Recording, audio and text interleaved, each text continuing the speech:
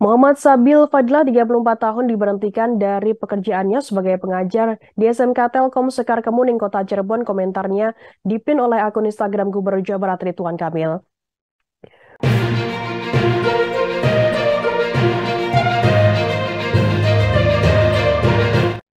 Warga Cirebon tersebut menerima surat pemberhentian dari sekolah tempatnya mengajar pada Rabu 15 Maret pagi.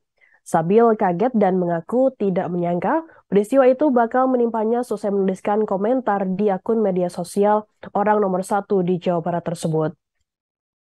Yang merasa aneh dengan keputusan tersebut meskipun ia mengaku siap menerima seluruh konsekuensi yang komentarnya atas atas komentarnya di akun Instagram Rituan Kamil pada Selasa 14 Maret. Meski sudah dipecat, Sabil belum menceritakan kejadian yang dialaminya kepada keluarganya dan berencana menghadapinya sendiri. Saat ditanya komentarnya di akun medsos Ridwan Kamil, Sabil mengaku hanya berniat menyampaikan kritik biasa dan tidak menyangka akan viral. Yang menyampaikan kritik itu dilontarkan karena melihat Ridwan Kamil mengenakan jas kuning warna yang identik dengan Partai Golkar saat berbincang dengan siswa SMP di Tasikmalaya secara daring. Menurutnya terlepas dari alasan Ridwan Kamil mengenakan jas kuning tersebut, politik praktis tidak boleh dibawa ke ranah pendidikan. Yang mengatakan sejauh ini belum memiliki rencana ke depannya setelah kehilangan pekerjaan yang digelutinya sejak 2014 lalu.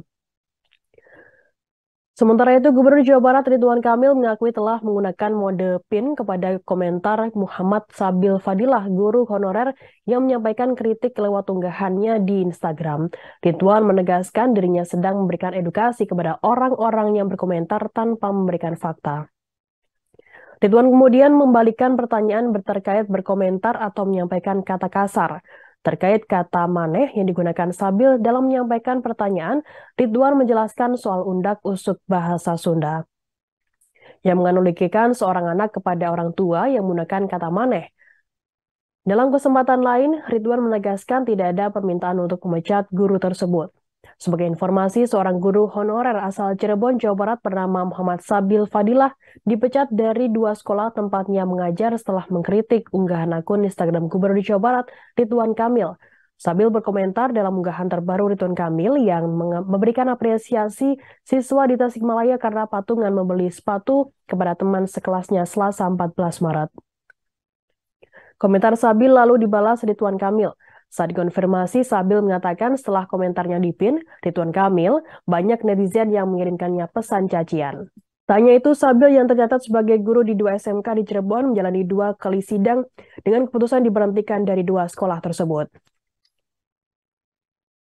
Terima kasih sudah nonton.